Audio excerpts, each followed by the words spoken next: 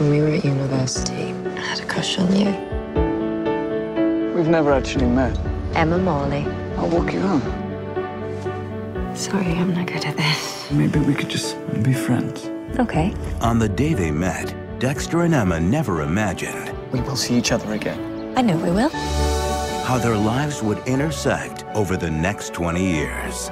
I'm a disaster. I'm sure it's not a complete disaster. Come on, everyone's lost at 25. You're not. Trainee TV producer, nice new flat. You need a holiday.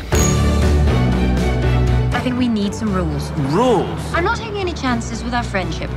Separate bedrooms. No flirting. And absolutely no skinny dipping.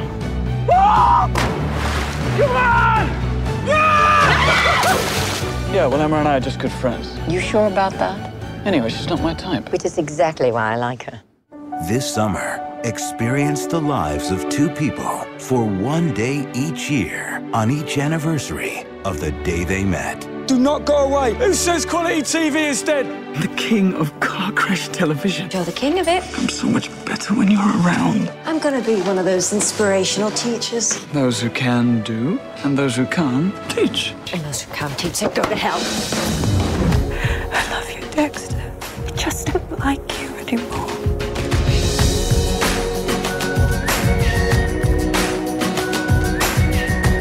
You're getting married. Yeah. I missed you, Dex.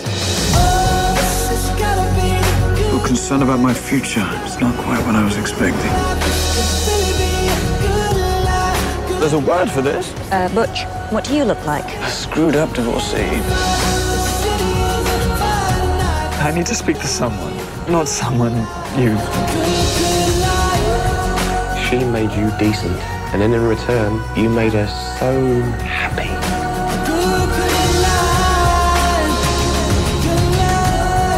Whatever happens tomorrow, we had today.